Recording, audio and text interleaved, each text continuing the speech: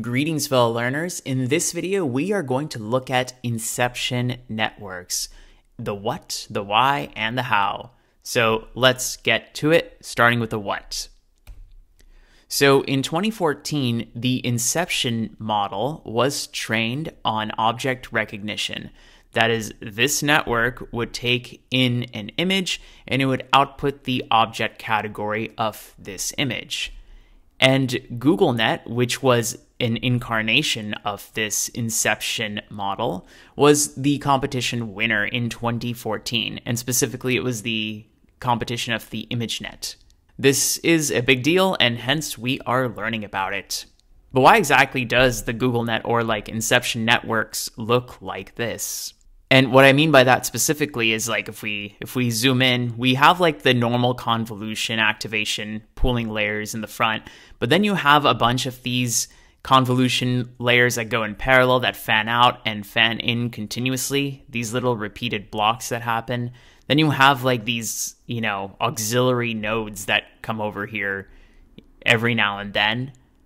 And then you can terminate it as softmax. So why exactly do we have this structure at all? We're going to talk about that. So let's talk about that thought process here. So we have an object recognition neural network. We want to build one that takes in an image and outputs an object category. And you know, one way that we could do this is like AlexNet, which is a good baseline state of the art. But how do we improve performance over this? A classic way to do this is to increase the size of this network, that is, increase the number of layers or the number of neurons per layer. And another network that came around this time was VGGNet, and they did it quite successfully, creating deep convolution networks using only 3 cross 3 convolutions, as opposed to much larger convolutions like the 11 cross 11 that we would see in AlexNet. And hence, they were able to make an effectively deep structure that could perform almost as good as this inception model, too. But increased network size comes with certain issues. First, increased size implies increased parameters, and this means the network can overfit. And this is particularly true if there's like lack of availability of data and labels. And the second is that the number of computation operations can scale rapidly, making training and inference on the network less and less feasible. So, how do we solve for this? Now, these two, you know, the increase in parameters and also scaling of computation operations, which is like multiplications and additions. Now, this happens because of dense layers. So when I say like dense, if we have like a tensor that is in the convolution network that looks like this, it means that most of the values in this tensor are non-zero and hence it's dense. And we usually make the assumption that tensors are dense for neural networks. And this is why we apply like multiplication operations between matrices, taking the sum of products across every single individual parameter because they're non zero, and hence we believe that they have some information. But is this assumption really valid? So, researchers at Google challenged this with a hypothesis. And they stated that the optimal neural network that maps an image to a classification is a very sparse one as opposed to dense. This uh, hypothesis didn't really come out of thin air, and it's kind of based on some of these three points. First, there was some theoretical backing from previous research that came out like the previous year. And then there's biological merit neurons in the brain are sparsely connected. So we have like 10 to the power of 11 neurons that are connected with 10 to the power of 15 synapses, making it very sparse. And then the third is potential efficiency. Sparsity implies less parameters, which implies less overfitting and computation. So that has its own benefits. But the problem here is that we can't really train sparse networks directly. And this is because CPUs and GPUs, as they have evolved today, are very efficient at dense operations and dense computations, uh, and not really sparse computations. So we want to make use of the hardware that exists today for dense computations. And hence, the practical solution is to approximate the sparse computations using smaller, parallel, dense computations. So let's take a look at this. So, in the very base case, in a convolution neural network, the fundamental operation is convolution. So, let's say that we have like a feature map, you know, that's 32 cross 32 cross 256 that we want to transform into another 32 cross 32 cross 256 tensor. So, this is like a big feature transformation that we want to perform. And if we perform this, you know, naively with like the normal like 5 cross 5 convolution, that means that let's say that we need 5 cross 5 cross 256. That's the size of one filter, which we slide on this tensor, uh, take the sum of all products there, and then we'll get like a single value. Then we slide this tensor across the entire thing, and we'll get a 32 cross 32 output here. And we need 256 of these filters in order to get this final output over here. Now, the number of parameters that would be incurred in this case would be 5 times 5 times 256, times 256, which is the number of out channels. This 256 is the number of in channels. And hence we end up with 1.638 million learnable parameters. So keep this in mind as like the base case. Now, many of the output 256 channels here may be highly correlated and hence passing similar information forward into the network. So now one way to kind of use sparse connections or approximate sparse connections like we said is to use parallel dense connections. So let's say now we we perform convolutions in parallel in this way. So let's just say in this one cross one convolution, we want to output a 32 cross 32 cross 64 channels over here. This is 128 channels for the 3 cross 3, 32 for the 5 cross 5, and 32 for the max pooling. And this can be done with, you know, in this case, it's one cross one cross like 256. That's like one filter. We slide over the entire tensor to get a 32 cross 32. And then you have 64 said of those in order to get this full thing here. And similarly, you can see how we can get these other tensors as well. Next, all we do is stack all of these tensors based on the channels here. So you just add the channel depth and that becomes 256 right over here where you know the yellows correspond to this is the output of the result of you know one cross one convolutions these blues are the three cross three the red is five cross five and henceforth so we're effectively able to perform this transformation uh, with these parallel convolutions and while these channels are more correlated and redundant within this same color, they are less correlated between other colors over here too. And hence we are simulating some sense of sparsity.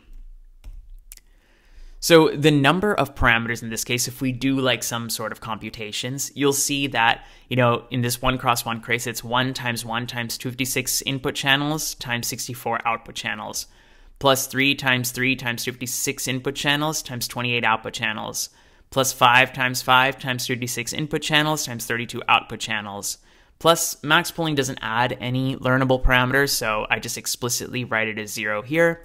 And you'll see now that there's 516,000 learnable parameters.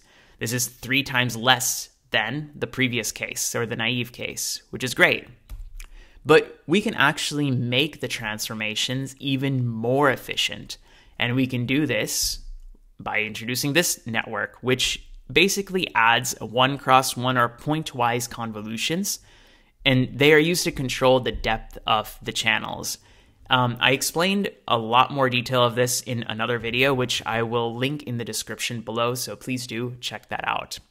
Ultimately, what you need to know here is the reason we use one cross one convolutions is to control the channel depth. So that, you know, 256 is a lot of channels, and if you apply 5 cross 5 directly onto it, it's going to create a lot more parameters, a little bit too many of them. And hence, we use pointwise convolutions to, like, as a bottleneck, we'll scale it down to like 16 channels. And then on this 16, we will operate this much more expensive convolution operation. The same thing with, you know, this 3 cross 3 convolution. Instead of operating directly on 256, we first scale it down to 96 channels and then we operate on it. And everything here is kind of remaining the same. Now, though, if you try to determine the number of learnable parameters and you do all the math, you will see that there's only 176 learnable parameters. This is almost like nine times lower than the original naive case. So you can see how we can still perform the feature transformation far more effectively with this simulated sparse network operation. And this right here is exactly what we call the inception block. And all we need to do now is we concatenate these blocks one after the other, and we get the inception network. And so this is kind of like what you see over here we have like one inception block, another inception block, another inception block. And here you can see that we have an inception block and there's this auxiliary nodes over here that go to a softmax and same over here. The reason we do this is because like this now because of this sparsity we are able to make the network parameter efficient and hence it becomes very deep. But it, because networks are too deep, you get the vanishing gradient problem if you try to backpropagate just directly from here uh, the gradients might vanish and these earlier neurons may not learn, hence they become dead. So to prevent that, we can actually pass in the label right over here too at different points within the network. And we would, uh, you know, some of these, like this convolution would get now gradients propagating from the original case and gradients propagating from this branch over here. And so this branch uh, gradient would be weighted by like a small discount instead, like it'd be like 0.3. And that's how we ensure that the neurons just don't die in this very deep network. So overall, I hope the why behind like this architecture actually now makes more sense. Now, let's kind of look at the how with some code. So in this code, we are actually going to train the like one iteration of the inception net on the CIFAR10 dataset. So CIFAR10 is basically a classification dataset. You given an image, it'll classify into like 10 object categories. And the model architecture, well, first we have like the inception block that we kind of just talked about. And then we have the inception network that we're going to use, which is only going to have three of those inception blocks that we mentioned here, here, and here, just because this data set is a little smaller. And, you know, comparing this to like AlexNet in terms of parameters, you can see AlexNet has 2.2 million parameters, whereas this Inception Net has nine times fewer, only 270,000 parameters. And yet, when we actually train this network, we get like a best accuracy of like 80%. And you know, in a previous video on the exact same data set for the exact number of epochs, we trained an AlexNet architecture and observed almost like the same accuracy. So essentially, even though we had like nine times less parameters, we're getting like the same performance. So you can imagine if we just scale this inception net a little bit more with a few more parameters, we can easily cross this performance too. And so this is kind of like why Inception also became quite big and popular in 2014. Quiz time. Have you been paying attention? Let's quiz you to find out. Which of the following is true about Inception networks? A. It uses multi scale filters in parallel to capture both fine and coarse features. B. It reduces parameters by using one cross one convolutions. C. It avoids fully connected layers entirely. Or D. It introduces residual connections for deeper training. I'll give you a few seconds to answer this question.